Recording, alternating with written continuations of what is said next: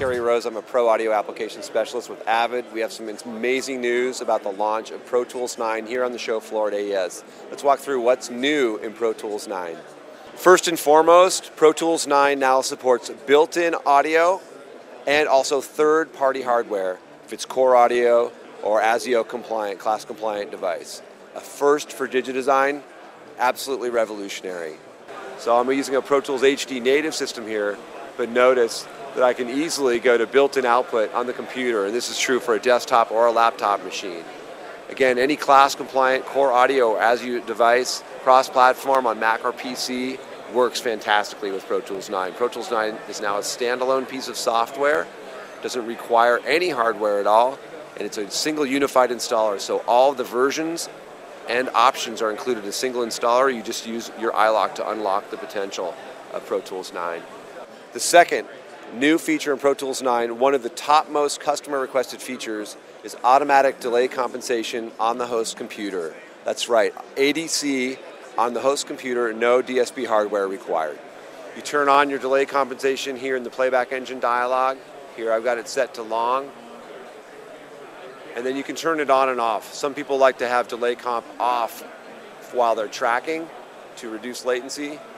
So notice now when I turn delay compensation on under the options menu Pro Tools 9, now I get my delay compensation values here at the bottom of each channel strip, right? So your mixes sound tighter, everything's time aligned and in phase. Here you go, here's your values. Obviously on these multi-drum tracks with multiple plugins, all that's now time aligned, phase accurate. Again, this is on the host CPU, whether it's a laptop or a desktop, no additional DSP hardware required. Additional standard features in Pro Tools 9 is you now have a time code ruler, you now have AAF, MP3, MXF, and OMF support, no need for DigiTranslator.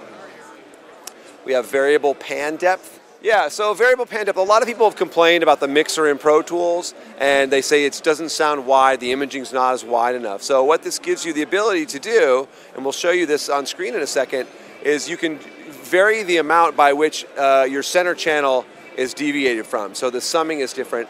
You get essentially a, a, variable spread with pan depth. So it creates the illusion things are either closer together or further apart. Creates a certain amount of spatial depth and gives you the ability to adjust that for anywhere from minus 2.5 to, to minus 6 dB. So it's a perceptual thing, it's a psychoacoustic thing.